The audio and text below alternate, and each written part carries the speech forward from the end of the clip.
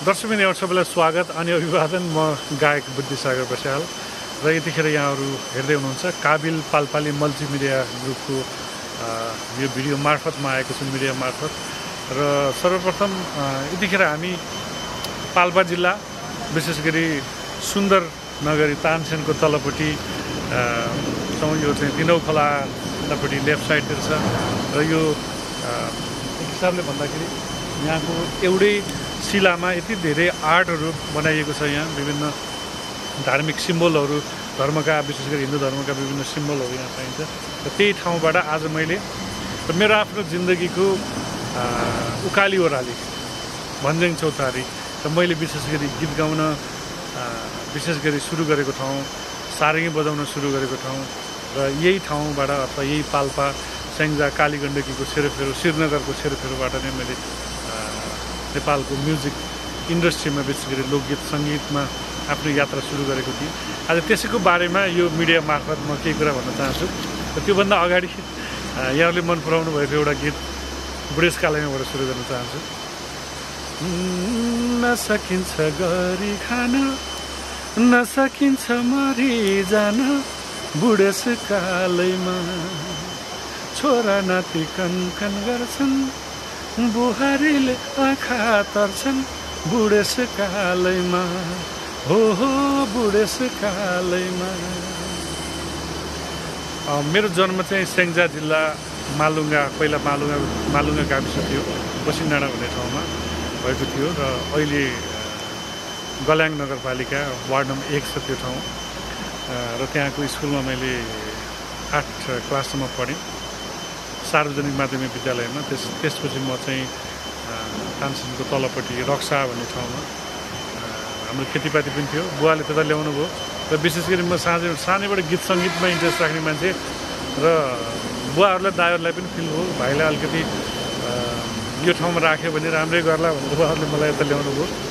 र एक दिन चाहिँ हाम्रो घर वारिपारि गन्धर्व बस्ती छ। गन्धर्व दाईहरू सारङ्गी बजाउनुहुन्थ्यो। साइला गन्धर्व माइला गन्धर्व यता यनी माया भन्ने धेरै दायित्व बितिसक्नु पनि भएछ। उहाँहरूले सारङ्गी बजाउनुहुन्थ्यो म सुन्थेँ अनि मलाई भित्रभित्र फिल हुन्थ्यो कि म पनि यही गर्न जन्म्या हो। मैले पनि यसमा चाहिँ आफ्नो करियर अथवा यस- यसमा चाहिँ आफ्नो लगाव दिनुपर्छ भनेर दाईहरूबाट सारङ्गी सिकेँ मैले। र त्यतिखेर हाम्रो अलिकति यो सारङ्गीलाई अथवा गीत गाउने मान्छेहरूलाई त्यति राम्रो दृष्टिकोणले पनि हेरिन्थेन। त्यही पनि मैले एउटा नेपालको सांस्कृतिक बाजा लोक बाजा यो समाजले जेसुकै भनोस् मतलब भएन। र हामीले केही गर्नुपर्छ भन्ने हिसाबले सारङ्गी बजाएँ अनि सेन्ट स्कुलबाट मैले एसएलसी गरेँ। आइए चाहिँ यहाँ पाल्पाबाटै पढेँ बहुमुखीबाट त्यसपछि तानसेनबाट चाहिँ काठमाडौँ गयो। काठमाडौँ गइसकेपछि मैले यो शुभ विवाह भन्ने मेरो क्यासेट निकालेँ। र त्यसमा चाहिँ केटिएन भनेर भान्जाभा आउनु भएको छ भने म्युजिक नेपाल अवार्ड पनि पायो त्यसले। र त्यसमा ए म त हजुर गाउँघरको ठिठो कसैसँग बोल्दिन नमिठो क्या राम्रो तान्छन् बजार ढाका चोली लगाउने नानीले सुटुकै लायो नजर विशेष गरी यो तानसेन यो सेरोफेरो श्रीनगरको बारेमा गीतै बनाएँ मैले यो ठाउँलाई एउटा प्रमोसन पनि हुने हिसाबले हामी धेरै अरू साथीहरू अरू आर्टिस्टहरू पनि हुनुहुन्थ्यो र विशेष गरी मैले यो आफू हुर्केको ठाउँ आफू जन्मेको कालीगण्डकीको सेरोफेरो मेरा हरेक गीतहरूमा त्यहाँका कथाहरू भेटिएका हुन्छन्। पछि म्युजिक नेपाल अवार्ड पनि पायो so largest selling of the year भनेर। अनि त्यसपछि मैले बुढेसकालैमा भन्ने गीत रेकर्ड गरेँ। त्यहाँले निकै मन पराइदिनु भयो। सबै वृद्धहरूको गीत बन्न सक्यो। हाम्रो लागि पनि अब भविष्यमा हामी पनि त्यही ट्रेनमा छौँ। त्यसपछि अनि सबैभन्दा बढी यहाँले मन पराइदिनु भएको डाँफे नाचेर फुल कहाँ फुल्छ राखेर हे मायाले त हँसाउनु पर्ने हो हँसाउनु पर्ने हो ढुङ्गा पनि रसाउनु पर्ने हो डाँफे नाचेर डाँफे नाचेर फुल कहाँ फुल्छ र आगै भाँचेर त्यसको बिसाइडको बाजेका पालामा मोहर पाती नुन हाम्रो पालामा नुन भयो सुनमया बटौली बजार त्यो जेनेरेसन ग्यापको कुरा जुन हाम्रो सेन्जा पाल्पा गुर्मी अर्घखाँसी त्यो भेगको जनताहरू नुन किन्न बुटोल जाने यहाँबाट घिउ टिनमा लिएर जाने त्यो कथा एउटा ऐतिहासिक गीत बन्न सफल भयो। मलाई निकै मा माया गरिदिनु भयो।